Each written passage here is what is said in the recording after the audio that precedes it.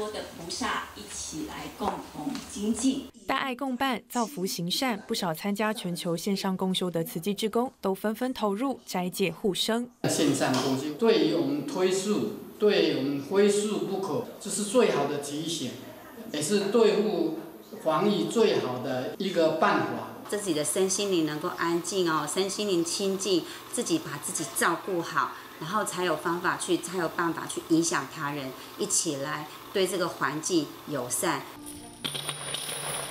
除了加入如素行列，很多人也响应竹筒岁月。因为瘟疫席卷全球，冲击许多国家，百业萧条，奉献自己一点心意，汇聚能量，帮助更多人。全世界的这些需求，我们会去尽量用尽各种方法去满足之外，那在台湾，我们还是有看到很多呃需要帮助的人，希望大家一起来大爱共办，啊，造福行善。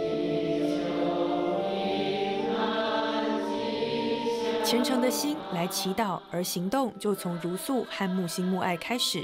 希望全世界都能平安度过疫情。大爱新闻张扬川、杨爱婷、邓明仪，花莲报道。另外呢？